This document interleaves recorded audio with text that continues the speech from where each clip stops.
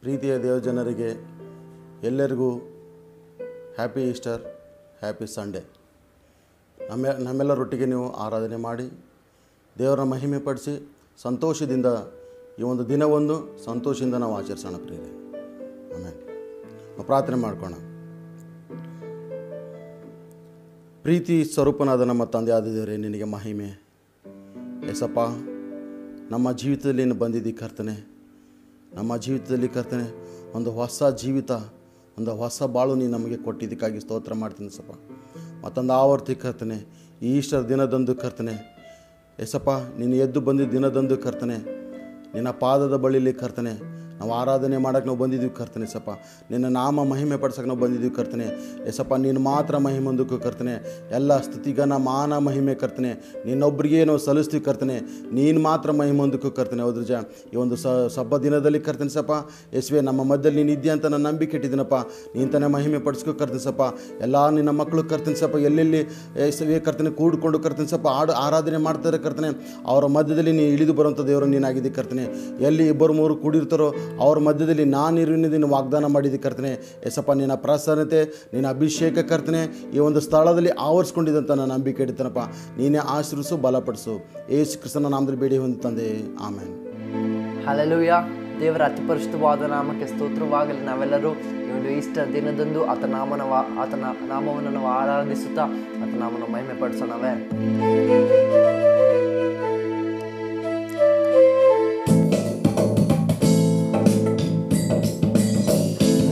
ಬಂದೆ ಬಾಳಿನಲ್ಲಿ, ಬೆಳಕು ತಂದೆ ಜೀವನದಲ್ಲಿ.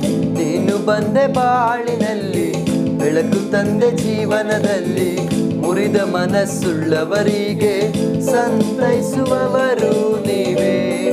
ನನ್ನ ಯೇಸುವೆ, ಮುರಿದ ಮನಸ್ಸುಳ್ಳವರಿಗೆ ಸಂತೈಸುವವರು ನೀವೇ. ನೀನು ಬಂದೆ ಬಾಳಿನಲ್ಲಿ ಬೆಳಕು ತಂದೆ ಜೀವನದಲ್ಲಿ, ನೀನು ಬಂದೆ ಬಾಳಿನಲ್ಲಿ.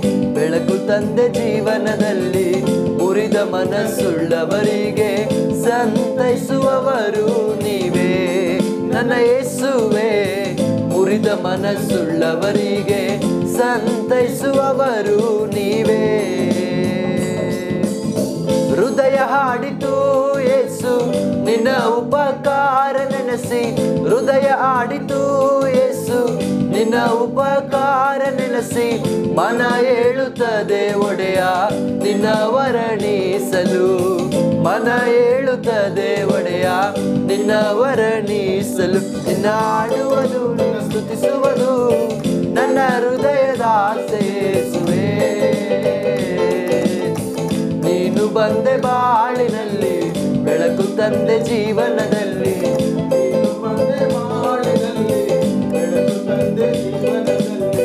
ಮುರಿದ ಮನಸ್ಸುಳ್ಳವರಿಗೆ ಸಂತೈಸುವವರು ನೀವೇ. ನನ್ನ ಯೇಸುವೆ, ಮುರಿದ ಮನಸ್ಸುಳ್ಳವರಿಗೆ ಸಂತೈಸುವವರು ನೀವೇ. ನೀನೆ ನನ್ನ ಗೌರವಕ್ಕೆ ಆಧಾರ ಯೇಸುವೆ. ನೀನೆ ನನ್ನ ಗೌರವಕ್ಕೆ ಆಧಾರ ಎಸುವೆ ನನ್ನ ತಲೆ ಎತ್ತುವಂತೆ ಮಾಡಿದವರು ನೀವೇ. ನನ್ನ ತಲೆ ಎತ್ತುವಂತೆ ಮಾಡಿದವರು ನೀವೇ. ನಿನ್ನ ಹಾಡುವುದು, ಸ್ತುತಿಸುವುದು ನನ್ನ ಮನಸ್ಸಿನ ಆಸೆ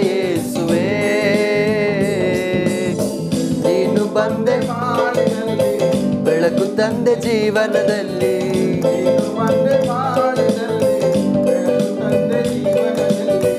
ಮುರಿದ ಮನಸ್ಸುಳ್ಳವರಿಗೆ ಸಂತೈಸುವವರು ನೀವೇ. ನನ್ನ ಮುರಿದ ಮನಸ್ಸುಳ್ಳವರಿಗೆ ಸಂತೈಸುವವರು ನೀವೇ. ಜೀವವೆಂಬ ಜಯ ಕಿರೀಟ ನನಗಾಗಿ ಇಟ್ಟವನೇ. ಜೀವವೆಂಬ ಜಯ ಕಿರೀಟ ನನಗಾಗಿ ಇಟ್ಟವನೇ. ಜೀವಿಸುವ ದಿನಗಳೆಲ್ಲ ನಿನ್ನ ಸೇವೆ ಮಾಡುವುದೇ ಜೀವಿಸುವ ದಿನಗಳೆಲ್ಲ ನಿನ್ನ ಸೇವೆ ಮಾಡುವೆ. ನಿನ್ನ ಆಡುವುದು, ಸ್ತುತಿಸುವುದು ನನ್ನ ಜೀವದ ಆಸೆ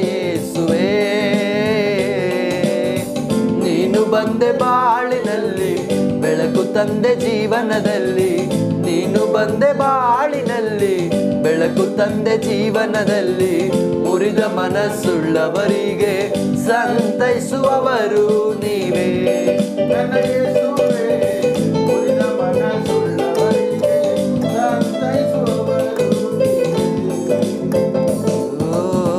ನೀನು ಬಂದೆ ಬಾಳಿನಲ್ಲಿ ಬೆಳಕು ತಂದೆ ಜೀವನದಲ್ಲಿ ನೀನು ಬಂದೆ ಬಾಳಿನಲ್ಲಿ ಬೆಳಕು ತಂದೆ ಜೀವನದಲ್ಲಿ ಮುರಿದ ಮನಸ್ಸುಳ್ಳವರಿಗೆ ಸಂತೈಸುವವರು ನೀವೇ.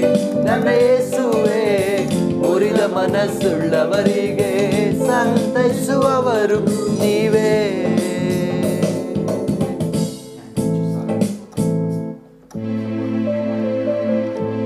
ಹೌದು ಅಪ್ಪ ಯೇಸುವೆ. ಅಪ್ಪ, ನೀವು ಈ ದಿನದಲ್ಲಿ ಕರ್ತನೆಪ್ಪ ನಮ್ಮ ಬಾಳಿನಲ್ಲಿ ಕರ್ತನೆಪ್ಪ ಒಂದು ಪುನರುತ್ಥಾನದ ಶಕ್ತಿನ ನಮ್ಮ ಬಾಳಿನಲ್ಲಿ ಕರ್ತನೆಪ್ಪ ನೀವು ಬಂದಿರೋದಕ್ಕಾಗಿ ಸ್ತೋತ್ರ ಅಪ್ಪ. ಅಪ್ಪ, ಈ ಲೋಕದಲ್ಲಿ ನಾವು ಜೀವಿಸುವಷ್ಟು ದಿನಗಳೆಲ್ಲ ಕರ್ತನೆಪ್ಪ ಅಪ್ಪ ನಿನ್ನೆ ಸೇವೆ ಮಾಡುವುದಕ್ಕೆ ಒಂದು ಜೀವವನ್ನ ಕೊಟ್ಟಿದ್ಯಪ್ಪ ಒಂದು ಹೊಸ ಜೀವವನ್ನ. ಅಪ್ಪ, ಪುನರುತ್ಥಾನ ಜೀವವನ್ನ ಕರ್ತನೆಪ್ಪ ನಮ್ಮ ಜೀವಿತದಲ್ಲಿ ನೀವು ಕೊಟ್ಟಿರೋದಕ್ಕಾಗಿ ನಿಮಗೆ ವಂದನೆ ಅಪ್ಪ. ಅಪ್ಪ, ಈ ಮುಂಜಾನೆ ವೇಳೆಯಲ್ಲಿ ಕರ್ತನೆಪ್ಪ ಅಪ್ಪ ನಿಮ್ಮನ್ನು ಸ್ತುತಿಸುವಾಗ, ಅಪ್ಪ, ನಿನ್ನ ವಾಕ್ಯ ಹೇಳಿದ ಹಾಗೆ ನನ್ನನ್ನು ಸ್ತುತಿಸುವವರು ಆತ್ಮಕ್ಕೆ ಅಪ್ಪ. ಆತ್ಮೀಯ ರೀತಿಯಲ್ಲಿ ಸತ್ಯಕ್ಕೆ ತಕ್ಕ ಹಾಗೆ ಸ್ತುತಿಸಬೇಕು ಅಂತ ಈಗಿರುವಾಗಪ್ಪ ಆತ್ಮ ಸ್ವರೂಪನೇ. ನಮ್ಮ ಮಧ್ಯದಲ್ಲಿ ನೀವು ಇಳಿದು ಬರುವಂತವರಾಗ್ರಿ ಅಪ್ಪ. ಮರಣವನ್ನ ಜಯಿಸಿದಾತನೇ ಅಪ್ಪ, ನಮ್ಮ ಆರಾಧನೆಯಲ್ಲಿ ನೀವು ಮಹಿಮೆ ಹೊಂದಿಕೊಂಡ್ರಿ ಯೇಸುವೆ. ಹಾಲೆಲೂಯ ಹಾಲೆಲೂಯ ಹಾಲೆಲೂಯ ಸ್ತೋತ್ರ. ಎಂದು ಆನಂದ ನನ್ನೇಸು ನೀಡುವ. ಎಂದು ಆನಂದ ಯೇಸು ನೀಡುವ. ಸ್ತುತಿಸುವೆ ಸ್ತುತಿಸುವೆ ಸ್ತುತಿಸುತ್ತಲೇ ಇರುವೆ. ಸ್ತುತಿಸುವೆ ಸ್ತುತಿಸುವೆ ಸ್ತುತಿಸುತ್ತಲೇ ಇರುವೆ. ಅಲ್ಲೆಲುಯ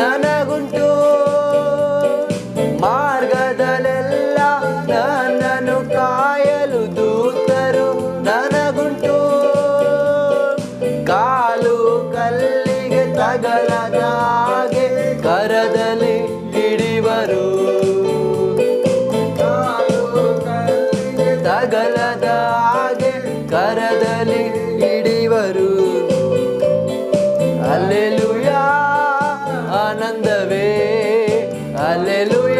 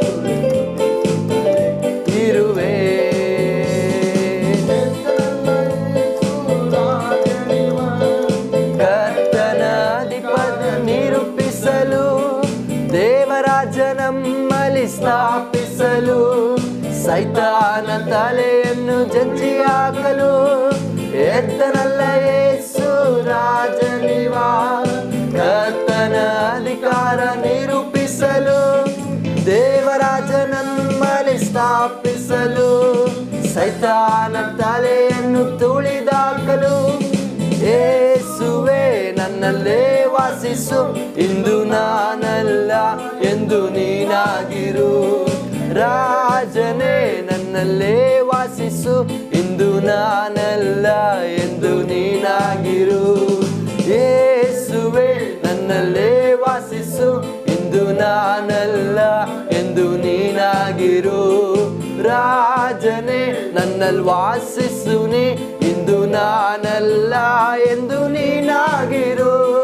ಎದ್ದನಲ್ಲ ಏಸು ರಾಜನಿವಾ ಕರ್ತನ ಅಧಿಕಾರ ನಿರೂಪಿಸಲು, ದೇವರಾಜ್ಯ ನಮ್ಮಲ್ಲಿ ಸ್ಥಾಪಿಸಲು, ಸೈತಾನ ತಲೆಯನ್ನು ತುಳಿದಾಕಲು, ಎದ್ದನಲ್ಲ ಯೇಸು ರಾಜನಿವ, ಕರ್ತನ ಅಧಿಕಾರ ನಿರೂಪಿಸಲು ದೇವರಾಜ ನಮ್ಮಲ್ಲಿ ಸ್ಥಾಪಿಸಲು, ಸೈತಾನ ತಲೆಯನ್ನು, ಕೊನೆಯದಾಗಿ ಯೇಸುವೆ ಯೇಸುವೆ ನನ್ನಲ್ಲೇ ವಾಸಿಸು. ಇಂದು ನಾನಲ್ಲ ಎಂದು ನೀನಾಗಿರು. ರಾಜನೇ ರಾಜನೇ, ನನ್ನಲ್ಲೇ ವಾಸಿಸು. ಇಂದು ನಾನಲ್ಲ ಎಂದು ನೀನಾಗಿರು.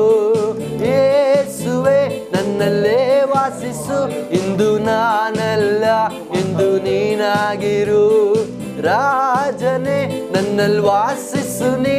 ಇಂದು ನಾನಲ್ಲ ಎಂದು ನೀನಾಗಿರು.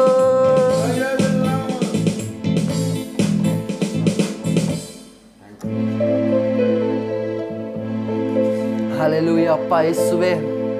ಅಪ್ಪ, ಇಂದು ನೀನಾಗಿರು ಕರ್ತನೆಪ್ಪ ನಮ್ಮ ಬಾಳಿನಲ್ಲಿ, ಅಪ್ಪ. ಅಪ್ಪ, ಈ ದಿನಗಳ ತನಕ ಕರ್ತನಪ್ಪ, ಈ ಲೋಕದಲ್ಲಿ ಜೀವಿಸುವಾಗ ಅಪ್ಪ, ನಾವು ಕರ್ತನೆಪ್ಪ, ನಮ್ಮ ಆಲೋಚನೆಯಲ್ಲಿ ಕರ್ತನೆಪ್ಪ, ನಮ್ಮ ಸಾಮರ್ಥ್ಯದಲ್ಲಿ ಅಪ್ಪ, ನಮ್ಮ ಚಿಂತೆಯಲ್ಲಿ ಅಪ್ಪ, ನಮ್ಮ ಆಸೆಯಲ್ಲಿ ನಮ್ಮ ದಾರಿಯಲ್ಲಿ ನಡೆದಂತ ನಮ್ಮನ್ನ ಕರ್ತನೆಪ್ಪ, ನಿನ್ನ ಶಿಲುಬೆ ರಕ್ತದಿಂದ ವಿಮೋಚಿಸಿ ಅಪ್ಪ, ಸಕಲ ಕರ್ತನೆಪ್ಪ ಧರ್ಮಗಳಿಂದಲೂ ಅಪ್ಪ, ಭೂ ಸಂಬಂಧವಾದ ಕಾರ್ಯಗಳಿಂದಲೂ ಕರ್ತನೆಪ್ಪ, ನಮ್ಮನ್ನ ಬಿಡುಗಡೆ ಮಾಡುತ್ತಾ, ನಿನ್ನ ರಕ್ತದಿಂದ ನಮ್ಮನ್ನ ತೊಳೆಯುತ್ತಾ, ಒಂದು ಹೊಸ ಜೀವವನ್ನ ನೀಡಿದೆ ಕರ್ತನೆಪ್ಪ, ನಿಮ್ಮನ್ನ ಆರಾಧಿಸ್ತೇವೆ ಕರ್ತನೆಪ್ಪ, ಅಪ್ಪ, ಪೌಲನು ಹೇಳಿದ ಹಾಗೆ ಅಪ್ಪ, ಇಂದು ನಾನಲ್ಲ ಕರ್ತೇನಪ್ಪ, ನನ್ನಲ್ಲಿ ಎಂದಿಗೂ ನೀನಾಗಿರು ಕರ್ತೀನಪ್ಪ, ನನ್ನಲ್ಲಿ ನೀನು ವಾಸಿಸುವಂತವನಾಗೋ. ಅಪ್ಪ ನನ್ನಲ್ಲೇ ವಾಸಿಸುವೆ, ನನ್ನಲ್ಲಿ ನೀನು ಜೀವಿಸುವಂತವನಾಗು ಯೇಸುವೆ ಅಲ್ಲೆಲೂಯ ರೀಮಂದೋ ಶಿಖಾನಾಲ ರರ ಬರ ಬರ ಬರ ಬರ. ಬರ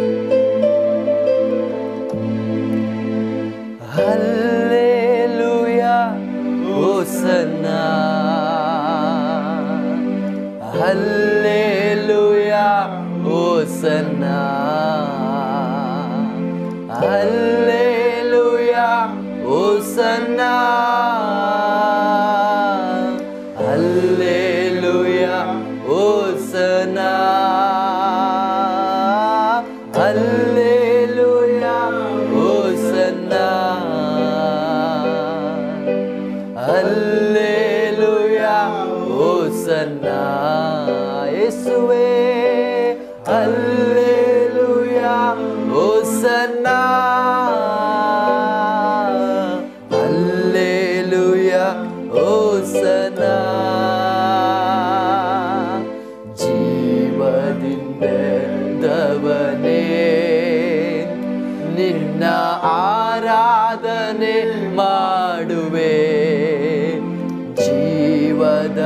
ಅಧಿಪತಿಯೇ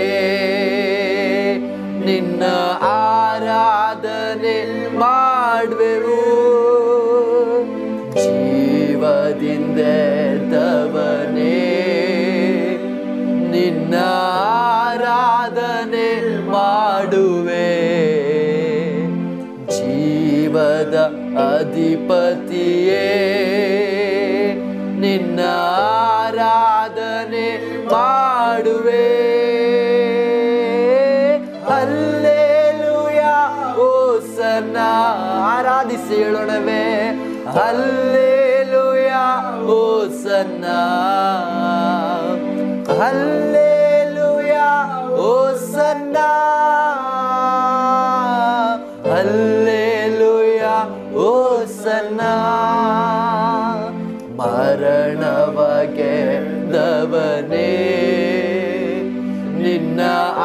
ಜಯಿಸಿದವನೇ ಮಾಡುವೆ. ಪಾತಾಳ ಜಯಿಸಿದವನೇ ಪಾತಾಳ ಜಯಿಸಿದವನೇ ಸುವೆ ನಿನ್ನ ಆರಾಧನೆ ಮಾಡುವೆ. ಮರಣವ ನಿನ್ನ ಆರಾಧನೆ ಮಾಡುವೆ. ಪಾತಾಳ ಜಯಿಸಿದವನೇ ನಿನ್ನ ಆರಾಧನೆ ಮಾಡುವೆ. ಕೊನೆಯದಾಗಿ ಅಲ್ಲೇಲುಯ ಓಸನ್ನ ಅಲ್ಲೇಲುಯ ಓಸನ್ನ ಅಲ್ಲೇಲುಯ ಓಸನ್ನ ಅಲ್ಲೇಲುಯ ಓಸನ್ನ ಅಲ್ಲೇಲುಯ ಓಸನ್ನ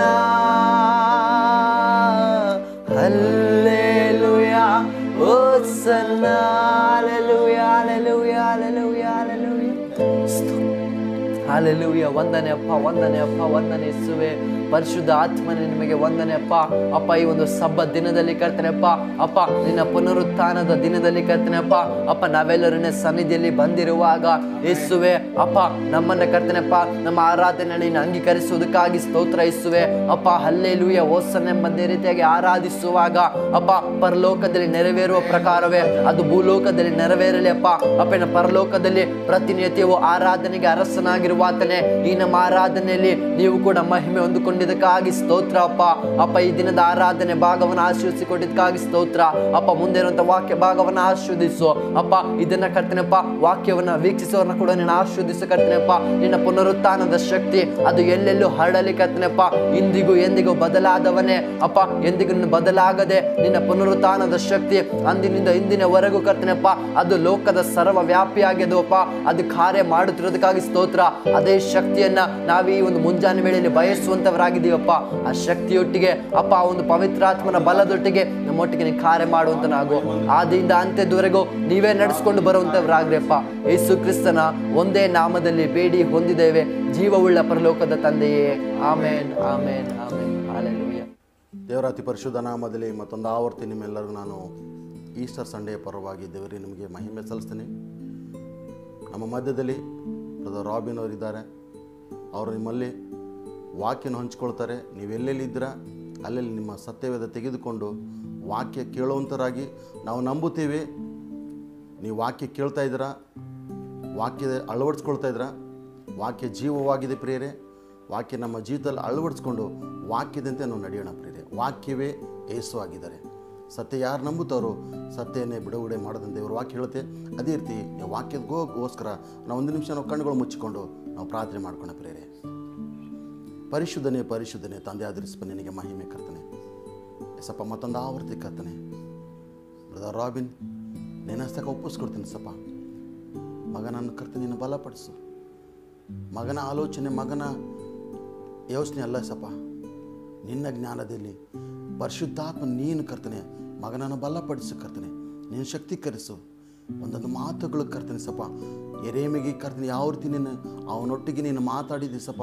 ಎರೇಮಿ ಬಾಯಲ್ಲಿ ನೀನು ಯಾವ ರೀತಿ ನಿನ್ನ ಮಾತುಗಳು ಇಟ್ಟಿದ್ದಿ ಕರ್ತನೆ, ಅದೇ ಒಂದು ಜೀವದ ಮಾತುಗಳು ಕರ್ತನೆ. ಇವತ್ತು ಆ ಮಗನ ಬಾಯಲ್ಲಿಟ್ಟು ಕರ್ತನೆ ಮಗನನ್ನು ಬಲಪಡಿಸು ನೀನು ಶಕ್ತೀಕರಿಸು ಕರ್ತನೆ. ಏಸಪ್ಪ ಮಗನ ಆಲೋಚನೆ, ಮಗನ ಥಿಂಕಿಂಗ್ ಯಾವುದೇ ಇಲ್ಲ ಸಪ್ಪ. ನಿನ್ನ ಆಲೋಚನೆ ನಿನ್ನ ಚಿತ್ತದಂತೆ ಮಗನನ್ನು ಬಲಪಡಿಸೋ ಕರ್ತನೆ ಸಪ್ಪ. ಕೇಳುವಂತರು ಕರ್ತನೆ ಸಪ್ಪ. ಯೇಸುವೆ ಒಬ್ಬೊಬ್ಬರನ್ನು ಕರ್ತನೆ. ಅದನ್ನು ಅಳವಡಿಸ್ಕೊಂಡು ಕರ್ತನೆ. ಮಾರ್ಪಾಡು ಕರ್ತನೆ ಸಪ್ಪ. ಈ ವಾಕ್ಯ ಕರ್ತನೆ ಮಾರ್ಪಡಿಸುವಂಥದ್ದಾಗಿದೆ ಕರ್ತನೆ. ನೀನು ತನ್ನ ಮಕ್ಕಳನ್ನು ಬಲಪಡಿಸು, ನೀನು ಆಶ್ರಯಿಸು ಯೇಸು ಕ್ರಿಸ್ತನ ನಾಮದಲ್ಲಿ ಬೇಡಿ ಹೊಂದಿದ್ದು ತಂದೆ. Amen. Hallelujah praise the Lord ಈ ಮುಂಜಾನೆ ವೇಳೆಯಲ್ಲಿ ಸಬ್ಬ ದಿನದಲ್ಲಿ ವಾಕ್ಯವನ್ನು ಧ್ಯಾನಿಸೋದು ಎಷ್ಟು ಸುಂದರ ಸಮಯವಾಗಿದೆ. ಹಲಲುಯ ಈ ಒಂದು ವೇಳೆಯಲ್ಲಿ ನಾವು ನೋಡುವಾಗ ಮೊದಲನೇ ಒಂದು ಉದ್ದೇಶ ಏನಂದ್ರೆ ಇವತ್ತು ಲೋಕವೆಲ್ಲ ನಾವು ಆಚರಿಸುವಂಥ ರೀತಿಯಲ್ಲಿ ಇವತ್ತು ಈಸ್ಟರ್ ದಿನವಾಗಿದೆ. ಈಸ್ಟರ್ ಅಂದ್ರೆ ಅರ್ಥ ಏನು? ಅದನ್ನು ನೋಡಿಕೊಳ್ಳೋದಕ್ಕಿಂತ ಮುಂಚಿತವಾಗಿ ಈಸ್ಟರ್ ಯಾವಾಗ ಬರುತ್ತೆ? ಇದು ನಾವು ನೋಡುವಾಗ ಯೇಸು ಸ್ವಾಮಿ ನಮಗೋಸ್ಕರ, ನಿಮಗೋಸ್ಕರ ಅವರು ಶಿಲುಬೆಯಲ್ಲಿ ಮರಣ ಹೊಂದಿದಂತ ಮೂರನೇ ದಿನ ಆದ ನಂತರ ಈ ಈಸ್ಟರ್ನ ನಾವು ಆಚರಿಸುವಂತರಾಗಿದ್ದೀವಿ. ಈಸ್ಟರ್ ಅಂದರೆ ಅದು ಪುನರುತ್ಥಾನವಾಗಿದೆ. ಆದರೆ ನಾವು ಕೆಲವು ಸಿಮ್ ನೋಡುವಾಗ ಕೆಲವು ನಿಮಿಷಗಳ ಕಾಲ ನಾವು ಶಿಲುಬೆ ಕುರಿತಾಗಿ ನಾವು ನೆನಪು ಮಾಡಿಕೊಳ್ಳೋಣ. ಶಿಲುಬೆಲಿ ಯೇಸು ಸ್ವಾಮಿ ನಮಗೋಸ್ಕರ ಏನೇನೆಲ್ಲ ಮಾಡಿದ್ರು? ಯೇಸು ಸ್ವಾಮಿ ನಮ್ಮ ಒಂದು ಪಾಪದ ಜೀವಿತವನ್ನು ಅವರು ಹೊತ್ತುಕೊಂಡ್ರು. ಯೇಸು ಸ್ವಾಮಿ ನಮ್ಮ ಒಂದು ಹಳೆಯ ಎಲ್ಲ ಅಧರ್ಮ ಕ್ರಿಯೆಗಳನ್ನು ಅವರು ಆ ಒಂದು ಶಿಲುಬೆಯಲ್ಲಿ ಹೊತ್ತುಕೊಂಡ್ರು.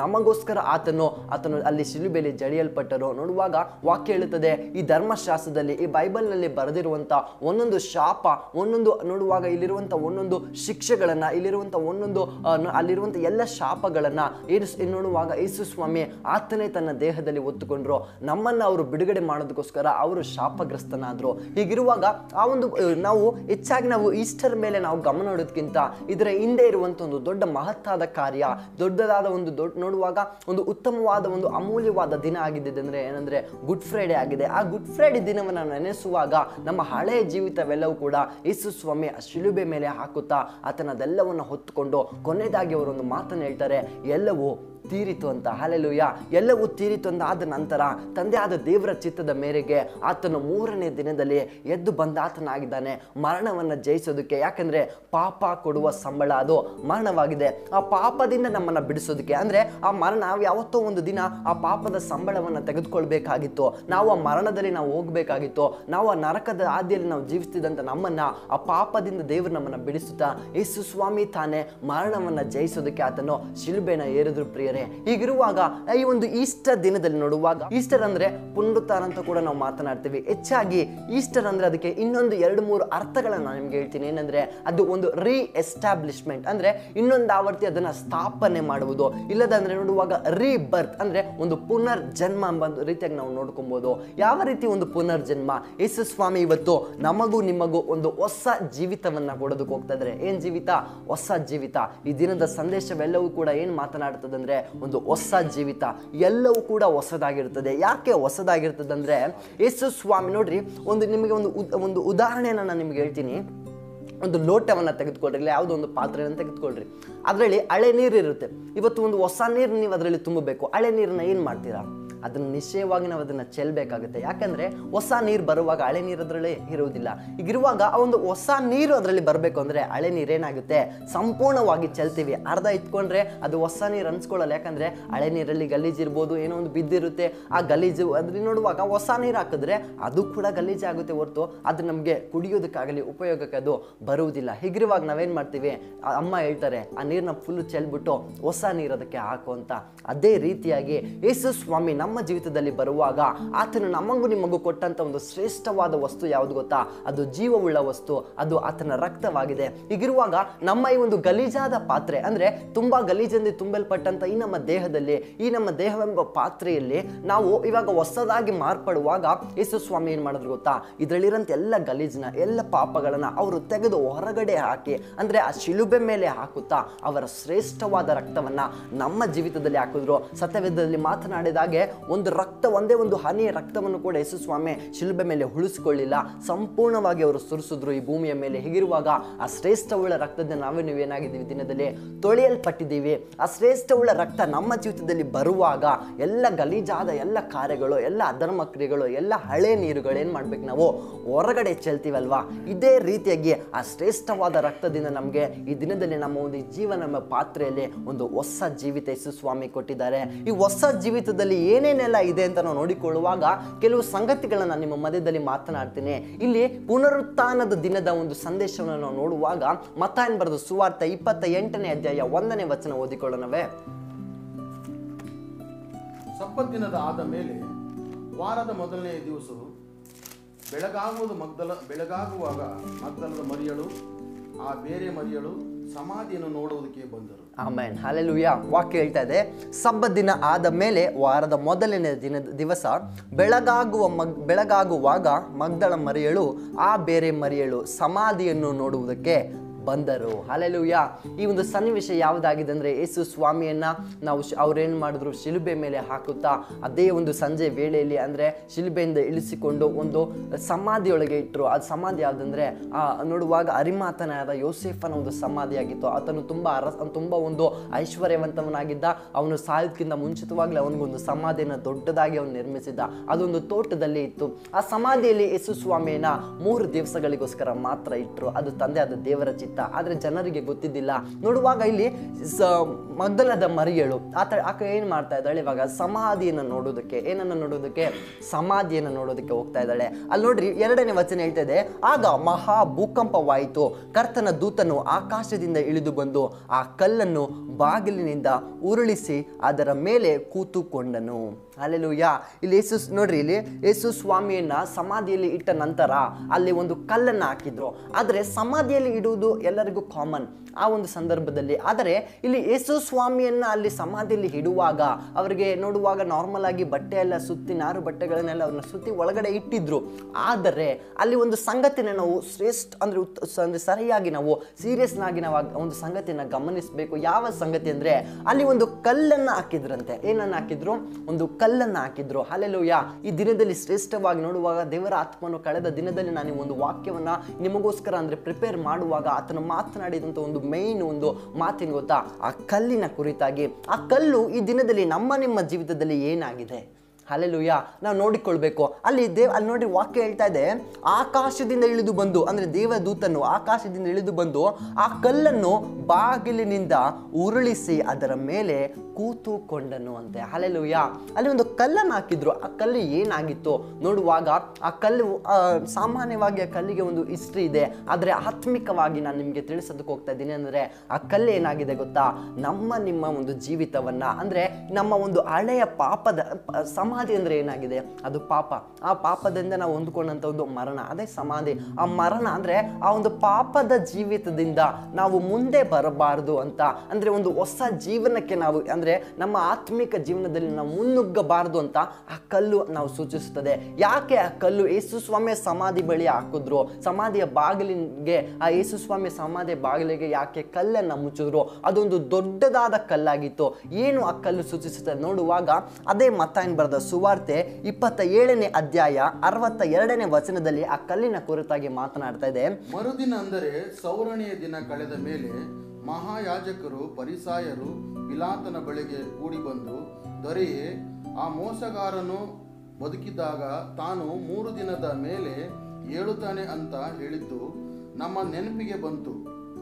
ಆದ ಕಾರಣ ಮೂರನೇ ದಿನ, ಮೂರನೇ ದಿನದ ತನಕ ಸಮಾಧಿಯನ್ನು ಭದ್ರ ಮಾಡಿ ಕಾಯುವುದಕ್ಕೆ ಅಪ್ಪಣೆ ಕೊಡಬೇಕು. ಇಲ್ಲದಿದ್ದರೆ ಅವನ ಶಿಷ್ಯರು ಬಂದು ಅವನನ್ನು ಕದ್ದುಕೊಂಡು ಹೋಗಿ ಸತ್ತವನು ಬದುಕಿ ಬಂದಿದ್ದಾನೆ ಎಂದು ಹೇಳಾರು. ಈ ಒಂದು ಸನ್ನಿವೇಶ ಯಾವುದಾಗಿದೆ ಅಂದರೆ ಯೇಸು ಸ್ವಾಮಿ ಭೂಲೋಕದಲ್ಲಿ ಜೀವಿಸುವಾಗ ಅನೇಕರನ್ನ ಸತ್ತವರಿಂದ ಎಬ್ಬಿಸಿದ್ರು, ಅನೇಕ ರೋಗಗಳನ್ನು ಗುಣ ಮಾಡಿದ್ರು, ಅನೇಕರಿಗೆ ಕಣ್ಣುಗಳನ್ನು ಕೊಟ್ಟರು ತುಂಬ ಅದ್ಭುತ ಕಾರ್ಯಗಳನ್ನೆಲ್ಲ ಮಾಡಿದ್ರು. ಆದರೆ ಈ ಒಂದು, ಆ ಒಂದು ನೋಡುವಾಗ ಅಲ್ಲಿ ಪಿಲಾತನಿಗೆ ಅಲ್ಲಿದ್ದಂಥ ಅಧಿಕಾರಿಗಳಿಗೆ ಎಲ್ಲರಿಗೂ ಕೂಡ ಏನಾಗಿತ್ತು ಗೊತ್ತಾ? ಯೇಸು ಸ್ವಾಮಿ ಒಬ್ಬ ಮೋಸಗಾರನು ಎಂಬ ರೀತಿಯಲ್ಲಿ ಅವರು ನೋಡ್ತಾ ಇದ್ರು. ಆತನನ್ನು ದೂಷಣೆ ಮಾಡ್ತಾ ಇದ್ರು, ಆತನನ್ನು ನಿಂದಿಸ್ತಾ ಇದ್ರು. ಅದೇ ಒಂದು ಉದ್ದೇಶದ ಮೇರೆಗೆ ಯೇಸು ಸ್ವಾಮಿಯ ಕುರಿತಾಗಿ ಒಂದು ಭಯ ಕೂಡ ಎಲ್ಲೋ ಅಲ್ಲೋ ಸ್ವಲ್ಪ ಸ್ವಲ್ಪ ಇತ್ತು. ಆ ಭಯದೊಟ್ಟಿಗೆ ಅವ್ರು ಏನು ಮಾಡ್ತಾ ಇದ್ದಾರೆ? ಅರಸನ ಬಳಿಗೆ, ದೊರೆಯ ಬಳಿಗೆ ಬರ್ತಾ ಇದ್ದಾರೆ. ಅವ್ರು ಹೇಳ್ತಾ ಇದ್ದಾರೆ, ದೊರೆಯೇ ಆ ಮೋಸಗಾರನು ಬದುಕಿದ್ದಾಗ ತಾನು ಮೂರನೇ ದಿನ, ಅಂದರೆ ಮೂರು ದಿನದ ಮೇಲೆ ಏಳುತ್ತೇನೆ ಅಂತೂ, ಅಂತ ಹೇಳಿದ್ದು ನಮ್ಮ ನೆನಪ, ನೆನಪಿಗೆ ಬಂತು. ಆದ ಕಾರಣ ಮೂರನೇ ದಿನದ ತನಕ ಸಮಾಧಿಯನ್ನು ಭದ್ರ ಮಾಡಿ ಕಾಯುವುದಕ್ಕೆ ಅಪ್ಪಣೆ ಕೊಡಬೇಕು. ಇಲ್ಲದಿದ್ದರೆ ಅವನ ಶಿಷ್ಯರು ಬಂದು ಅವನನ್ನು ಕದ್ದುಕೊಂಡು ಹೋಗಿ ಸತ್ತವನ್ನು ಬದುಕಿ ಬಂದಿದ್ದಾನೆ ಎಂದು ಹೇಳಾರು.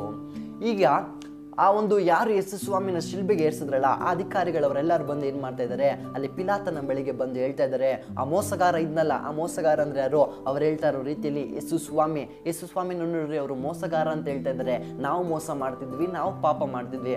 ಆದರೆ ಅವ್ರು ಅದನ್ನ ಅರಿಯದಿಲ್ಲದೆ ಅವ್ರೇನು ಮಾಡಿದ್ರು? ಯೇಸು ಸ್ವಾಮಿನೇ ಮೋಸಗಾರ ಅಂತ ಹೇಳೋದಕ್ಕೆ ಹೋಗ್ತಾ ಇದ್ದಾರೆ ನೋಡ್ರಿ ಆತರ ಹೇಳ್ತಾ ಇದ್ರೆ.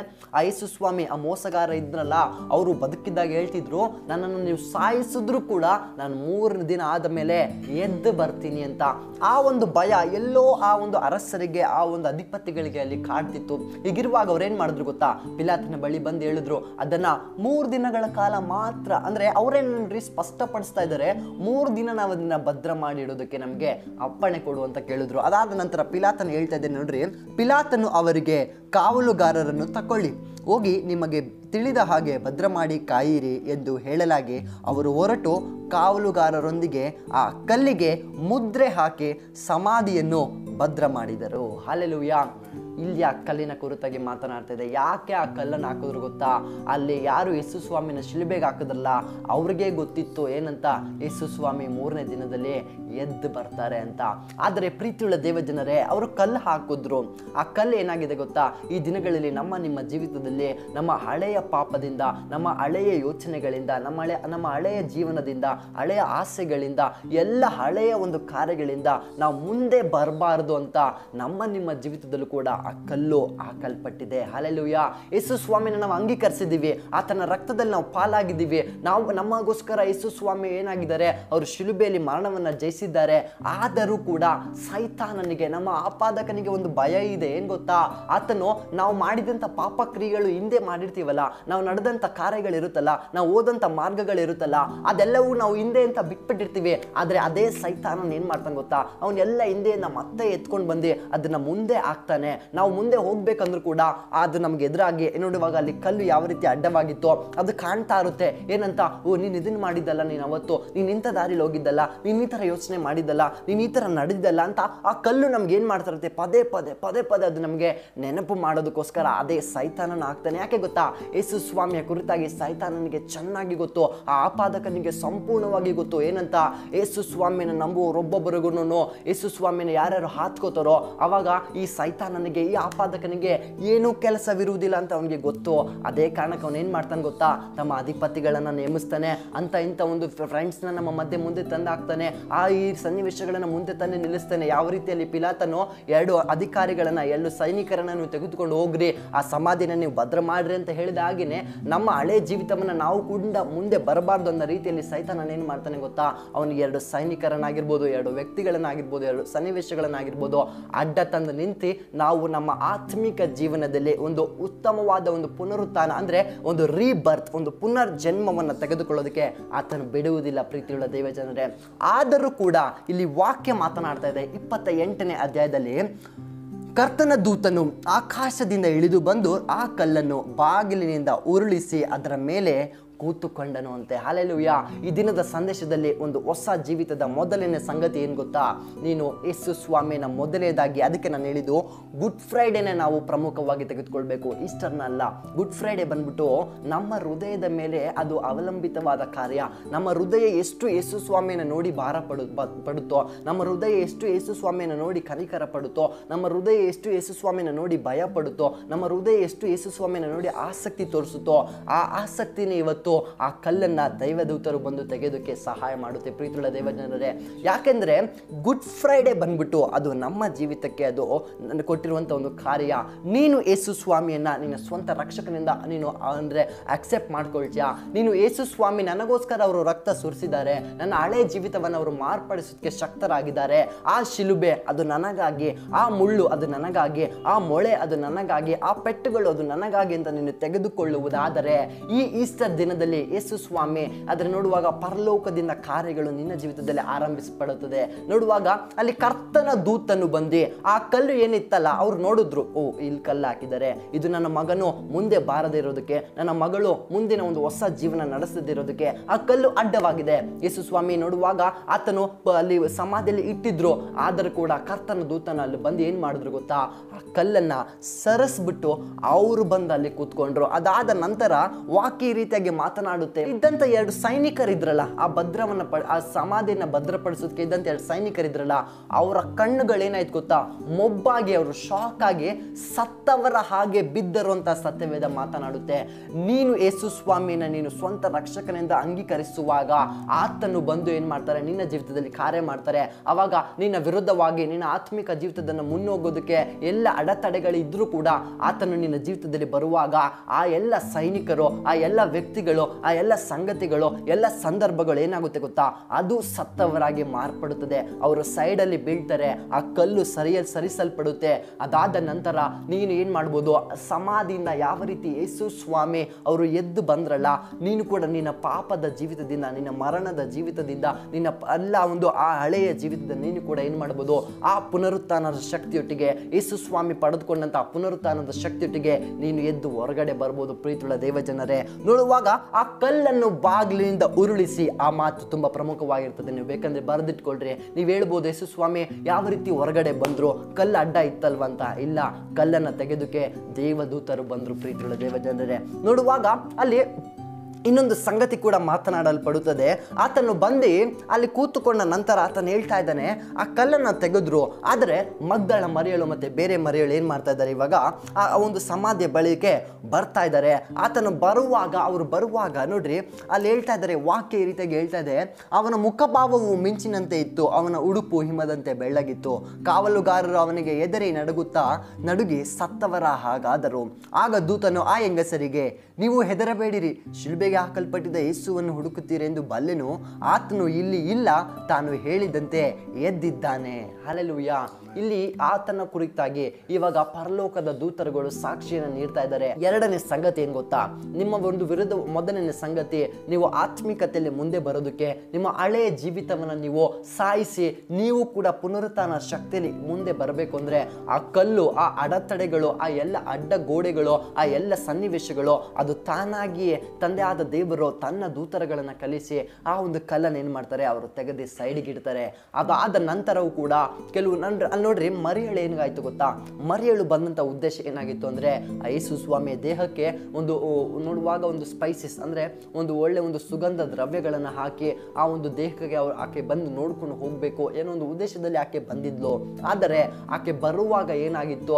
ಆಕೆ ಆಲೋಚನೆ, ಕಲ್ಲನ್ನು ಯಾರು ತೆಗಿತಾರೆ ಫಸ್ಟು ಯಾರು ಒಳಗಡೆ ಹೋಗ್ತಾರೆ? ಯಾರು ಇದನ್ನ ಹಾಕ್ತಾರೆ. ಯಾರು ಯೇಸು ಸ್ವಾಮಿ ದೇಹಕ್ಕೆ ಇದನ್ನು ಹಚ್ತಾರೆ? ಆ ಮಾತುಕತೆಯಲ್ಲಿ ಅವರು ಬರುವಂಥವರಾಗಿದ್ದರು ಆದರೆ ನೋಡ್ರಿ, ನಿಮ್ಮ ಜೀವಿತದಲ್ಲಿ ನೀನು ಯೇಸು ಸ್ವಾಮಿನ ಸ್ವಂತ ರಕ್ಷಕನಾಗಿ ಅಂಗೀಕರಿಸ, ಅಂಗೀಕರಿಸಿಕೊಂಡ ನಂತರ ನೀನು ಹೇಳ್ಬೋದು, ನಿನ್ನ ಆಲೋಚನೆ, ನಿನ್ನ ಒಂದು ಯೋಚನೆಗಳು ಏನೇನು ಇರ್ಬೋದು. ಇಲ್ಲ, ನಾನು ಇವಾಗ ಯೇಸು ಸ್ವಾಮಿನ ರಕ್ಷಣೆ, ರಕ್ಷಕನಾಗಿ ಅಂಗೀಕರಿಸಿದ್ದೀನಿ. ನಾನು ಈ ಥರ ನಡಿಬೇಕು. ಮುಂದೆ ಏನಾಗುತ್ತೋ ಅವ್ರೇನು ಹೇಳ್ತಾರೋ, ನಾನು ಯೇಸು ಸ್ವಾಮಿನ ಸ್ವಂತ ರಕ್ಷಕನಾಗಿ ಅಂಗೀಕರಿಸ್ಕೊಂಡ ನಂತರ ನನ್ನ ತಂದೆ ತಾಯಿ ಏನು ಹೇಳ್ತಾರೋ, ನನ್ನ ಫ್ರೆಂಡ್ಸ್ ಏನು ಹೇಳ್ತಾರೋ, ಅವರಿಗೆ ಆ ರೀತಿಯಾದ ಆಲೋಚನೆ ನೀನು ಅವ್ರು ಯಾವ ರೀತಿ ಯಾರು ಕಲ್ಲನ್ನು ತೆಗಿತಾರೋ, ಯಾರು ಇದನ್ನು ಹಚ್ತಾರೋ ಅಂತ ಆಲೋಚನೆಯಲ್ಲಿ ಬಂದ್ರಲ್ಲ, ನೀವು ಕೂಡ ಇದನ್ನು ಯಾರು ಮಾಡ್ತಾರೆ? ಆ ರೀತಿಯಾಗಿ ಆಲೋಚನೆ ನೀವು ಬರುವಂಥವರಾಗಿರ್ಬೋದು. ಆದರೆ ನಾನು ಮುಂಜಾನೆ ವೇಳೆ ಹೇಳ್ತಾ ಇದ್ದೀನಿ, ನಿಮ್ಮ ಜೀವಿತ ಯೇಸು ಸ್ವಾಮಿಯೊಟ್ಟಿಗೆ ಒಂದು ಸಾರಿ ಶಿಲುಬೆಗೆ ಹಾಕಿಸಿಕೊಂಡರೆ, ಅದಾದ ನಂತರ ನೋ ಲಿಮಿಟ್ಸ್ ಅಂದರೆ ನಿಮಗೆ ಯಾವುದೇ ಒಂದು ಮೇರೆ ಇರುವುದಿಲ್ಲ. ನೋಡ್ರಿ, ಅಲ್ಲಿ ಒಂದು ಲಿಮಿಟ್ ಇತ್ತು. ಎಂಥ ಲಿಮಿಟ್ ಅಂದರೆ, ಅಲ್ಲಿ ಒಂದು ಕಲ್ಲು ಅಡ್ಡವಾಗಿತ್ತು. ಆ ಒಂದು ಲಿಮಿಟ್ ಆ ಒಂದು ಮೇರೆಯನ್ನು ಕೂಡ ಏನು ಮಾಡಿದ್ರು? ಆ ಒಂದು ಕಲ್ಲು ಸೈಡಿಗೆ ಬಂತು. ಅಂದರೆ ತಂದೆ ಆದ ದೇವರು ಅದನ್ನು ತೆಗೆದಾಕ್ಸಿದ್ರು. ಅದನ್ನು ಕೂಡ ದಾಟಿ ಯೇಸು ಸ್ವಾಮಿ ಹೊರಗಡೆ ಬರೋದಕ್ಕೆ ಅಂದರೆ ಆತನ ಪುನರುತ್ಥಾನ ಹೊಂದಿಕೊಳ್ಳೋದಕ್ಕೆ ಸಹಾಯವಾಯಿತು. ಎರಡನೇದಾಗಿ ಒಂದು ಹೊಸ ಒಂದು ಎಕ್ಸ್ಪೀರಿಯನ್ಸ್ ಅಂದರೆ ನೀವು ಅಂದ್ಕೊಳ್ಬೋದು ಈ ಥರ ಆಗ್ಬೋದು, ಈ ಥರ ಆಗ್ಬೋದು, ನನ್ನ ಜೀವಿತ ಆ ಥರ ಆಗ್ಬೋದು ಅಂತ. ಇಲ್ಲ, ನಿನ್ನ ಜೀವಿತ ಯಾವುದು ಕೂಡ ನಿನ್ನ ರೀತಿಯಲ್ಲಿ ಇರುವುದಿಲ್ಲ. ಅದು ತನ್ನದೇ ಆದಂಥ ಆಲೋಚನೆಯಲ್ಲಿ ನಡೆಯುತ್ತದೆ. ಇವರು ಬಂದಿದ್ದು ಯೇಸು ಸ್ವಾಮಿ ದೇಹವನ್ನು ನೋಡಿಕೊಂಡು ಹೋಗೋದಕ್ಕೆ. ಆದರೆ ಅಲ್ಲಿ ನಡೆದಿದ್ದೇನು ಗೊತ್ತಾ? ಅಲ್ಲಿ ಯೇಸು ಸ್ವಾಮಿ ಇಲ್ಲ. ಆ ದೇವದೂತನ ಹೇಳ್ತಾ ಇದ್ದಾನೆ, ನೀವು ಯೇಸು ಸ್ವಾಮಿನ ಹುಡುಕ್ತಾ ಇದ್ದೀರಾ ಅಂತ ನನಗೆ ಗೊತ್ತು. ಆದರೆ ನಾನು ಹೇಳ್ತೀನಿ, ಆತನು ಇಲ್ಲಿ ಇಲ್ಲ. ಆತನು ಎದ್ದಿದ್ದಾನೆ. ಹಾಲೆಲುಯ್ಯ ಹೇಳ್ತಾ ಇದ್ದಾರೆ ನೋಡ್ರಿ, ನಿಮಗೆ ಎಂತ ಕಷ್ಟಗಳಿದ್ರು ಕೂಡ ನೀವು ಅಂದ್ಕೊಳ್ಬೋದು. ಯೇಸು ಸ್ವಾಮಿ ಬಳಿ ಬರುವಾಗ ಹೇಗಪ್ಪ ನನ್ನ ಜೀವನ? ಅವರನ್ನು ಅಂಗೀಕರಿಸ್ಕೊಂಡಾಗ ಹೇಗಪ್ಪ ನನ್ನ ಜೀವನ ಅಂತ ನೀವೆಲ್ಲ ಅಂದ್ಕೊಳ್ತಾ ಇರ್ಬೋದು. ಆದರೆ ಎರಡನೇ ಸಂಗತಿ ಏನು ಗೊತ್ತಾ? ನೀನು ಅಂದುಕೊಳ್ಳೋ ರೀತಿಯಲ್ಲಿ ಯೇಸು ಸ್ವಾಮಿ ಅಂಗೀಕರಿಸಿದ ನಂತರ ನಿನ್ನ ಜೀವಿತದಲ್ಲಿ ಯಾವುದೇ ಕಾರ್ಯ ಆಗುವುದಿಲ್ಲ. ಎಲ್ಲವೂ ಆತನ ಚಿತ್ತವಾಗಿರ್ತದೆ. ಯಾಕಂದ್ರೆ ಅಲ್ಲಿ ನೋಡ್ರಿ ಒಂದು ಯೋಹಾನ ಬರೆದ ಸುವಾರ್ತೆ ಇಪ್ಪತ್ತನೇ ಅಧ್ಯಾಯ ಆರನೇ ವಚನ ಓದಿಕೊಳ್ಳೋಣವೇ. ಇದೊಂದು ಮೂರನೇ ಸಂಗತಿ ಹೊಸದಾಗಿ ನಿಮ್ಮ ಜೀವಿತದಲ್ಲಿ ನಡೆಯುವಂಥದ್ದಾಗಿದೆ. ಸೀಮೋನ್ ಪೇತ್ರನು ಅವನ ಹಿಂದೆ ಬಂದು ಸಮಾಧಿಯೊಳಕ್ಕೆ ಹೋಗಿ ಆ ನಾರು ಬಟ್ಟೆಗಳು ಬಿದ್ದಿರುವುದನ್ನು ಆತನ ತಲೆ ಮೇಲಿದ್ದ ಕೈ ಪವಾಡವು ಆ ನಾರು ಬಟ್ಟೆಗಳ ಕೂಡ ಇರದೆ ಸುತ್ತಿ ಒಂದು ಕಡೆಯಲ್ಲಿ ಬೇರೆ ಇರುವುದನ್ನು ನೋಡಿದನು. ಆಮೇನ್. ಹಲೆಲುಯ್ಯ ಇಲ್ಲಿ ಮಗ್ದಳ ಮರಿಯಳ ಕುರಿತಾಗಿ ನಾವು ಆಗ್ಲೇ ನೋಡಿದ್ವಿ. ಆಕೆ ಇನ್ನ ಕಲ್ಲನ್ನು ತೆರೆದಿರೋಂಥ ಸ, ಅಂದರೆ ಕಲ್ಲು ತೆರೆದಿರೋಂಥ ಸಂದರ್ಭದಲ್ಲಿ ಆಕೆ ಒಂದು ಶಾಕ್ ಆಗಿ, ಅಂದರೆ ಭಯ ಹಿಡಿದವಳಾಗಿ ಅಲ್ಲಿ ಬಂದು ನಿಂತಳು. ಅದಾದ ನಂತರ ಇಲ್ಲಿ ಯೋಹಾನ ಬರದ ಸುವಾರ್ತೆಯಲ್ಲಿ ವಾಕ್ಯ ಹೇಳ್ತದೆ, ಸಿಮೋನ್ ಪೇತ್ರನು ಅವನ ಹಿಂದೆ ಬಂದು ಸಮಾಧಿಯೊಳಕ್ಕೆ ಹೋಗಿ ಆ ನಾರು ಬಟ್ಟೆಗಳು ಬಿದ್ದಿರುವುದನ್ನು ಆತನ ತಲೆ ಮೇಲೆ ಪಾವುಡವು ಆ ನಾರು ಬಟ್ಟೆಗಳ ಕೂಡ ಇರದೆ ಸುತ್ತಿ ಒಂದು ಕಡೆಯಲ್ಲಿ ಬೇರೆ ಇರುವುದನ್ನು ನೋಡಿದನು. ಪ್ರೀತಿಳ ದೇವಜನರೇ, ನಿನ್ನ ಜೀವಿತದಲ್ಲಿ ನೀನು ಎಲ್ಲ ಕಟ್ಟಲ್ಪಟ್ಟಿರುವಂಥ ಎಲ್ಲ ಸಂಗತಿಗಳಾಗಿರ್ಬೋದು, ನೀನು ಹೊರಗಡೆ ಬರದ ಹಾಗೆ, ನೀನು ಜೀವಿಸದ ಹಾಗೆ, ನೀನು ಪುನರ್ಜನ್ಮವನ್ನು ಹೊಂದಿಕೊಳ್ಳದ ಹಾಗೆ, ನಿನಗೆ ಎಷ್ಟೇ ಗಾಯಗಳಾಗಿ ಆ ಎಲ್ಲ ಕೈ ಪಾವುಡುಗಳಿಂದ ಯಾವ ರೀತಿ ಯೇಸು ಸ್ವಾಮಿನ ಸುತ್ತಿದ್ರಲ್ಲ, ಆ ರೀತಿಯಾಗಿ ನಿನ್ನ ಸನ್ನಿವೇಶಗಳು, ನಿನ್ನ ಸಂದರ್ಭಗಳು ಕೂಡ ನಿನ್ನನ್ನು ಸುತ್ತಿರಬಹುದು. ಆದರೆ ಯೇಸು ಸ್ವಾಮಿ ನಿನ್ನ ಜೀವಿತದಲ್ಲಿ ಅವರು ಬರುವಾಗ ಆ ಪುನರುತ್ಥಾನದ ಶಕ್ತಿಯಲ್ಲಿ ಆತ ನಿನ್ನ ಜೀವಿತದಲ್ಲಿ ಎಂಟರ್ ಆಗುವಾಗ ನೀನು ಏನೇಂದ್ರನ್ನ ಕಟ್ಟಲ್ಪಟ್ಟಿರಲಿ, ನೀನು ಅದು ಅಲ್ಲಿ ಬರೀ ಬಟ್ಟೆಯಿಂದ ಕಟ್ಟಿದ್ರು, ನಿನಗೆ ಇನ್ನು ಯಾವ ತಿಂದ್ರದಲ್ಲಿ ಕಟ್ಟಿರಲಿ? ನೀನು ಯಾವ ಸಂದರ್ಭಗಳಿಂದಾದರೂ ನೀನು ಸಿಲುಕಿಕೊಂಡಿರಲಿ. ಆದರೆ ಅದರ ಕುರಿತಾಗಿ ನೀನು ಆಲೋಚನೆ ಮಾಡಬೇಡ. ಅದೆಲ್ಲವನ್ನು ತೆಗೆದು ಅದನ್ನು ಬಿಚ್ಚಿ ಒಂದು ಸೈಡಲ್ಲಿಟ್ಟು ನಿನ್ನನ್ನು ಎಲ್ಲಿಗೆ ತೆಗೆದುಕೊಂಡು ಹೋಗ್ಬೇಕೋ? ಯೇಸು ಸ್ವಾಮಿ ತಾನಾಗೆ ನಿನ್ನನ್ನು ತೆಗೆದುಕೊಂಡು ಹೋಗ್ತಾರೆ. ಎಲ್ಲಿ ನೋಡುವಾಗ, ನಾನು ನಿಮಗೆ ಪ್ರಮುಖವಾಗಿ ಒಂದು ಮಾತನ್ನು ಹೇಳ್ತೀನಿ. Good Friday. ಈಸ್ಟರ್, ಕ್ರಿಸ್ಮಸ್ ಇವೆಲ್ಲ ನಾವು ಆಚರಣೆಯಾಗಿ ತೆಗೆದುಕೊಳ್ಳುವಂಥ ದಿನವಲ್ಲ. ಇದೆಲ್ಲ ನಾವು ಅಳವಡಿಸಿಕೊಳ್ಳುವಂಥ ದಿನಗಳಾಗಿವೆ. ಗುಡ್ ಫ್ರೈಡೇ ಅಂದರೆ ಏನು? ಆತನ ಒಂದು ಮರಣ ದಿನವನ್ನು ನೋಡುವಾಗ, ಆತನ ಶಿಲುಬೆಯನ್ನು ನೋಡುವಾಗ ನಾವು ಹೇಳ್ಕೊಳ್ಬೇಕು ಆತನ ನಮಗೋಸ್ಕರ ಸತ್ತಿರುವಾಗ ನಮ್ಮ ಪಾಪಗಳನ್ನು ಕೂಡ ನಾವು ಆ ಶಿಲುಬೆ ಮೇಲೆ ಹಾಕಬೇಕು ಅಂತ. ಈಸ್ಟರ್ ಅಂತ ನೋಡುವಾಗ ಆತ ನಮಗೋಸ್ಕರ ಇನ್ನೊಂದು ಆವರ್ತಿ ಎದ್ದು ಬಂದಿರುವಾಗ ಅದೇ ಪುನರುತ್ಥಾನ ಶಕ್ತಿ ನನ್ನಲ್ಲಿ ಇರಬೇಕು ಎಂಬ ಒಂದು ಅಳವಡಿಸುವಿಕೆ, ಒಂದು ಒಂದು ನೋಡುವಾಗ ಅಪ್ಲೈ ನಿನ್ನಲ್ಲಿ ಇರಬೇಕು. ಕ್ರಿಸ್ಮಸ್ ಕ್ರಿಸ್ಮಸ್ ಅಂದ್ರೆ ಏನು? ಆತನು ಲೋಕಕ್ಕೆ ರಕ್ಷಕನಾಗಿ ಬಂದ್ರು ಆ ರಕ್ಷಣೆ ಬೆಳಕು ನಿನ್ನಲ್ಲಿ ಇರಬೇಕು ಅಂತ ನೀನು ಅಂದುಕೊಳ್ಬೇಕು. ಈಗಿರುವಾಗ ದೇವರ ಆತ್ಮನ ನಮಗೆ ರಾತ್ರಿ ವೇಳೆ ನಾನು ವಾಕ್ಯನ ಪ್ರಿಪೇರ್ ಮಾಡುವಾಗ ಅವರು ಒಂದು ಮಾತೇನು ಗೊತ್ತಾ? ಇದ್ಯಾವುದು ಕೂಡ ನಾವು ಆಚರಣೆಗೆ ತೆಗೆದುಕೊಳ್ಳುವಾಗ ಇದು ಬರೀ ಆಚರಣೆಯಾಗೇ ಉಳಿಯುತ್ತೆ. ಅದನ್ನು ಬರೀ ನಾವು ಕ್ಯಾಲೆಂಡರ್ ಅಲ್ಲಿ ನೋಡ್ತೀವಿ ಅಷ್ಟೇ. ಇದನ್ನ ಅಪ್ಲೈ ಆಗಿ ತೆಗೆದುಕೊಳ್ಳುವಾಗ ಅಂದು ಯೇಸು ಸ್ವಾಮಿ ಇದ್ದಂಥ ಕಾಲದಲ್ಲಿ ನಡೆಯುವಂಥ ಕಾರ್ಯಗಳು ನಿಮ್ಮ ಜೀವಿತದಲ್ಲೂ ನಡೆಯುವಂಥದ್ದಾಗಿದೆ ಪ್ರೀತಿಯುಳ್ಳ ದೇವದಿಂದ್ರೆ ಇಲ್ಲಿ ಪೇತ್ರ, ಸೀಮೋನ್ ಪೇತ್ರ ಏನು ಮಾಡಿದ್ರು? ಅವರು ಸಮಾಧಿ ಒಳಕ್ಕೆ ಹೋದ್ರು. ಏನನ್ ಮಾಡಿದ್ರು ಅವರು? ಸಮಾಧಿ ಒಳಕ್ಕೆ ಹೋದ್ರು. ಅಲ್ಲಿ ಯೇಸು ಸ್ವಾಮಿನ ಇಟ್ಟಂತ ಸ್ಥಳ ಅವರಿಗೆ ಗೊತ್ತಿತ್ತು. ಯಾಕಂದ್ರೆ ಅವರೆಲ್ಲರೂ ಕೂಡ ಏನ್ ಮಾಡಿದ್ರು, ಆ ಒಂದು ಸ ತೆಗೆದುಕೊಂಡು ಹೋಗಿ ಯೇಸು ಸ್ವಾಮಿನ ಇಟ್ಟವರಾಗಿದ್ರು. ಅದೇ ರೀತಿಯಾಗಿ ಆ ಸ್ಥಳದಲ್ಲಿ ಹೋಗುವಾಗ ಅಲ್ಲಿ ಎಲ್ಲ ನಾರು ಬಟ್ಟೆಗಳಿಂದ ಸುತ್ತಿರುವಂತ ಬಟ್ಟೆಗಳು, ಆ ಕೈ ಪಾವುಡಗಳು ಅವೆಲ್ಲವೂ ಕೂಡ ಏನಾಗಿತ್ತಂತೆ? ಬಿಚ್ಚಲ್ಪಟ್ಟು ಒಂದು ಕಡೆ ಅದನ್ನ ಇಟ್ಟ ರೀತಿಯಲ್ಲಿ ಇತ್ತು. ಆದ್ರೆ ಅಲ್ಲಿ ಯೇಸು ಸ್ವಾಮಿ ದೇಹ ಮಾತ್ರ ಇರಲಿಲ್ಲ. ಅಂದ್ರೆ ಅರ್ಥ, ನಿನ್ನ ಜೀವಿತದಲ್ಲಿ ಏನೇ ಕಟ್ಟುಗಳಿಂದ ನೀನು ಕಟ್ಟಲ್ಪಟ್ಟಿದ್ರು, ಈ ಪುನರುತ್ಥಾನ ಶಕ್ತಿನ ನೀನು ಅಪ್ಲೈ ಮಾಡಿಕೊಳ್ಳುವಾಗ ನೀನು ಯಾವ್ದ್ರಿಂದ ಕಟ್ಟಲ್ಪಟ್ಟಿದ್ರು ನೀನು ಅದರಿಂದ ಬಿಡಿಸ್ಕೊಂಡು ಆ ಕಲ್ಲಿನಿಂದ ನಿನ್ನ ಸೈಡಿಗೆ ತೆಗೆದು ಹೊರಗಡೆ ಬರೋದಕ್ಕೆ, ಹೊರಗಡೆ ತೆಗೆದುಕೊಂಡು ಬರೋದಕ್ಕೆ ಯೇಸು ಸ್ವಾಮಿಗೆ ಶಕ್ತ. ನೋಡುವಾಗ ಯೇಸು ಸ್ವಾಮಿಗೆ ಅದನ್ನೆಲ್ಲವೂ ಕೂಡ ಸಾಧ್ಯವಾಗಿದೆ. ಅಲ್ಲಿ, ಇಲ್ಲಿ ಮೂರು ಸಂಗತಿಗಳನ್ನು ನಿಮಗೆ ಹೇಳಿದೆ. ಒಂದು, ಅಡತಡಿಯಾಗಿ ನಿಂತಿರುವಂಥ ಎಲ್ಲ ಕಲ್ಲುಗಳನ್ನು ಕೂಡ ತೆಗೆದು ಹಾಕಬಹುದು ಎರಡು, ಒಂದು ಹೊಸ ಎಕ್ಸ್ಪೀರಿಯನ್ಸ್ ಒಂದು ಹೊಸ ಅನುಭವ ನೀನು ಅಂದುಕೊಳ್ಳಂತ ರೀತಿಯಲ್ಲಿ ನಿನ್ನ ಜೀವಿತ ಅವಾಗ ಇರುವುದಿಲ್ಲ. ಮೂರನೇ ಸಂಗತಿ, ನೀನು ಯಾವುದರಿಂದ ಕಟ್ಟಲ್ಪಟ್ಟಿದ್ರು ಕೂಡ ಅದನ್ನೆಲ್ಲವನ್ನ ಬಿಡಿಸುತ್ತಾ ದೇವರು ಆ ಮರಣದ ಒಂದು ಸಮಾಧಿಯಿಂದ ಹೊರಗಡೆ ತೆಗೆದುಕೊಂಡು ಬರೋದಕ್ಕೆ ಆತನು ಶಕ್ತನಾಗಿದ್ದಾನೆ. ನಾಲ್ಕನೇ ಸಂಗತಿ ನೋಡಿಕೊಳ್ಳೋಣವೇ. ಲೂಕನ ಬರೆದ ಸುವಾರ್ತೆ ಇಪ್ಪತ್ತ ನಾಲ್ಕನೇ ಅಧ್ಯಾಯ ಐದನೇ ವಚನದಲ್ಲಿ ವಾಕ್ಯ ನೋಡಿಕೊಳ್ಳೋಣ.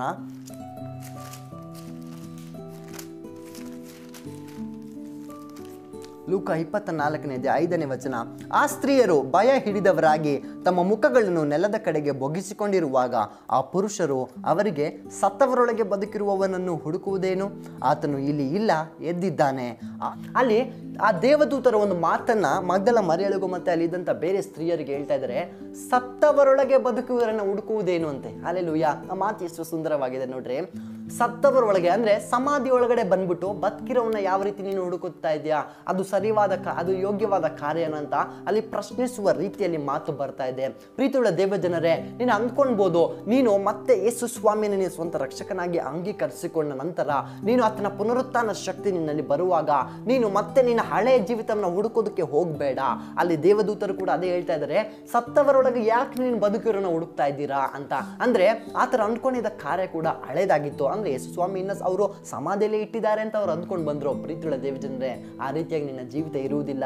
ಅದು ಮೂರು ದಿನಗಳು ತೆಗೆದುಕೊಳ್ಳುತ್ತೆ ಮಾತ್ರ. ಯಾಕಂದ್ರೆ ಆ ಪಾದಕನಿಗೆ ಗೊತ್ತಿತ್ತು, ಅದಕ್ಕೆ ಆತನ ಏನ್ ಮಾಡ್ದ? ಆ ಒಂದು ಅಧಿಕಾರಿಗಳೊಟ್ಟಿಗೆ ನೋಡುತ್ತಾ ಅಲ್ಲಿ ಭದ್ರಪಡಿಸಿದ. ಆದ್ರೆ ಪ್ರೀತಿಯುಳ್ಳ ದೇವಜನ್ರೆ, ನೀವು ಯಾವುದೇ ರೀತಿಯಾಗಿ ಕೂಡ ಅಂದ್ಕೊಳ್ಬೋದು. ಅಲ್ಲಿ ನಿಮ್ಮ ಹಳೆ ಜೀವಿತವನ್ನ, ಹಳೆ ಕಾರ್ಯವನ್ನ, ಹಳೆ ಯೋಚನೆಗಳನ್ನ ನೀವು ಹುಡುಕೋದಕ್ಕೆ ಹೋಗುವಾಗ ಅಲ್ಲಿ ದೇವರ ಆತ್ಮ ಮಾತನಾಡುತ್ತೆ. ಯಾಕೆ ನೀನು ಹಳೆದನ್ನ ಹುಡುಕ್ತಾ ಇದ್ಯಾ? ನೀನು ಹೊಸದಾಗಿ ಬದುಕಿದ್ಯಾ? ಹಳೆದನ್ನ ನೀನು ಹುಡುಕೋದಕ್ಕೆ ಹೋಗ್ಬೇಡ. ಅದು ನಿನ್ನ ಜೀವಿತದಲ್ಲಿ ಸಿಗುವುದಿಲ್ಲ. ಅಂದರೆ ಯೇಸು ಸ್ವಾಮಿನ ಹುಡುಕಿಕೊಂಡು ಅಲ್ಲಿ ಸಮಾಧಿ ಬಳಿ ಹೋದ್ರು, ಅದರಲ್ಲಿ ಯೇಸು ಸ್ವಾಮಿ ಅವರಿಗೆ ಸಿಗಲಿಲ್ಲ. ಯೇಸು ಸ್ವಾಮಿಯ ದೇಹ, ಆ ಸತ್ತಂತ ದೇಹ ಅವರಿಗೆ ಸಿಗಲಿಲ್ಲ. ಅದಾದ ನಂತರ ಯೋಹಾನ ಬರೆದ ಸುವಾರ್ತೆ ಇಪ್ಪತ್ತನೇ ಅಧ್ಯಾಯ ಹದಿನಾಲ್ಕನೇ ವಚನದಲ್ಲಿ ನೋಡ್ರಿ, ಇದನ್ನು ಹೇಳಿ ತಿರುಗಿಕೊಂಡು ಯೇಸು ನಿಂತಿರುವುದನ್ನು ಕಂಡಳು. ಆದರೆ ಆತನು ಯೇಸು ಆತನು ಯೇಸು ಅಂತ ಆಕೆಗೆ ತಿಳಿಯಲಿಲ್ಲ. ಯೇಸು ಆಕೆಯನ್ನು, ಅಮ್ಮ ಯಾಕೆ ಅಳುತ್ತಿ, ಯಾರನ್ನು ಹುಡುಕುತ್ತಿ ಎಂದು ಕೇಳಲು ಆಕೆ ಆತನನ್ನು ತೋಟಗಾರನೆಂದು ನೆನೆಸಿ ಆತನಿಗೆ, ಅಯ್ಯ, ನೀನು ಆತನನ್ನು ಎತ್ತಿಕೊಂಡು ಹೋಗಿದ್ದರೆ ಎಲ್ಲಿ ಇಟ್ಟಿದ್ದಿ? ನನಗೆ ಹೇಳು, ನಾನು ತೆಗೆದುಕೊಂಡು ಹೋಗುತ್ತೇನೆ ಎಂದು ಹೇಳಿದಳು. ಏಸು ಆಕೆಗೆ, ಮರಿಯಳೆ ಎಂದು ಹೇಳಿದನು. ಹಾಲೆಲುಯ್ಯ ಪ್ರೀತಿಯುಳ್ಳ ದೇವಜನರೇ ಇಲ್ಲಿ ಆಕೆ ಎರಡು ಸಂದರ್ಶನ ಆಯಿತು. ಒಂದು ದೇವದೂತರನ್ನ ಸಂದರ್ಶಿಸಿದ್ಲು, ಎರಡನೇದಾಗಿ ಯೇಸು ಸ್ವಾಮಿನ ಸಂದರ್ಶಿಸ್ತಾ ಇದ್ದಾಳೆ. ಅಲ್ಲಿ ಯೇಸು ಸ್ವಾಮಿನ ಸಂದರ್ಶಿಸುವಾಗಲೂ ಕೂಡ ಆಕೆಗೆ ಅದು ಏಸು ಕ್ರಿಸ್ತನು ಅಂತ ಗೊತ್ತಾಗಲಿಲ್ಲ. ಆಕೆ ತೋಟಗಾರನೆಂತ ಅಂದ್ಕೊಂಡ್ಲು ಆದರೆ ಯೇಸು ಸ್ವಾಮಿ ತನ್ನ ಸ್ವಂತ ಹೆಸರಾಗಿದ್ದ ಆ ಮರಿಯಳ ಹೆಸರನ್ನ ಕೂಗುತ್ತಾ ಹೇಳ್ತಾ ಇದ್ದಾರೆ, ಮರೆಯಳೆ ಅಂತ. ಅಲ್ಲೆಲುಯ್ಯ ನೀನು ಪುನರುತ್ಥಾನ ಶಕ್ತಿ ನಿನ್ನಲ್ಲಿ ಬರುವಾಗ ಆತನು ಎಲ್ಲ ಕಟ್ಟುಗಳಿಂದ ನನ್ನ ಬಿಡಿಸುತ್ತಾ, ಎಲ್ಲ ಒಂದು ಆ ಬಾಧೆಗಳಿಂದ ಇಂದ, ಇಂದಿನ ಜೀವಿತದ ಎಲ್ಲ ಕಟ್ಟುಗಳಿಂದ ನನ್ನ ಬಿಡಿಸುತ್ತಾ, ಆತನನ್ನು ಹೊಸ ಜೀವನದಲ್ಲಿ ನಡೆಸುವಾಗ ಅವರು ನಿನ್ನ ಜೀವಿತದಲ್ಲಿ ಮೊದಲು ಬರ್ತಾರೆ. ನೀನು ಅದನ್ನು ಕರೆಕ್ಟಾಗಿ ರೆಕಗ್ನೈಸ್ ಮಾಡಿಕೊಳ್ಳುವಾಗ ಆತನ ಹೆಸರಿಟ್ಟು ಕರೆಯುವಂಥವರಾಗಿದ್ದಾರೆ ಏನಾಗಿದ್ದಾರೆ? ಅವರು ನಿನ್ನನ್ನು ಹೆಸರಿಟ್ಟು ಕರೀತಾ ಇದ್ದಾರೆ. ಇಲ್ಲಿ ಮರಿಯಳಿಗೆ ಕರೆದ್ರು ಮರಿಯಳೆ ಅಂತ. ಆಕೆಗೆ ತಕ್ಷಣವೇ ಆತ, ಆಕೆಗೆ ಎಚ್ಚರವಾಯಿತು. ಓ, ಇದು ನನ್ನ ಗುರು, ನನ್ನ ಯೇಸು ಸ್ವಾಮಿ ಕರೀತಾ ಇರುವಂಥ ಮಾತು. ಆಕೆ ಅದನ್ನು ಹೃದಯದಲ್ಲಿ ಅದನ್ನ ಏನು ಮಾಡಿದವಳು ರೆಕಗ್ನೈಸ್ ಮಾಡಿಕೊಂಡ್ಳು. ಆಕೆ ನೋಡ್ರಿ, ಅಲ್ಲಿ ಹೇಳ್ತಾ ಇದ್ದಾರೆ ಮರಿಯಳೆ ಎಂದು ಹೇಳಿದನು. ಆಕೆ ತಿರುಗಿಕೊಂಡು ಇಬ್ರಿಯ ಮಾತಿನಲ್ಲಿ ರಬುನಿ ಅಂದಳು. ರಬುನಿ ಅಂದರೆ ಗುರುವೆ ಎಂದು ಅರ್ಥ. ಅಲೆಲುಯ್ಯ ಆಕೆಗೆ ಅವಾಗ ಗೊತ್ತಾಯ್ತು. ಓ, ಯೇಸು ಸ್ವಾಮಿ ಆತನು ಇನ್ನು ಸತ್ತವನಲ್ಲ, ಆತನು ಹೇಳಿದಂತೆ ಎದ್ದಿದ್ದಾನೆ ಅಂತ.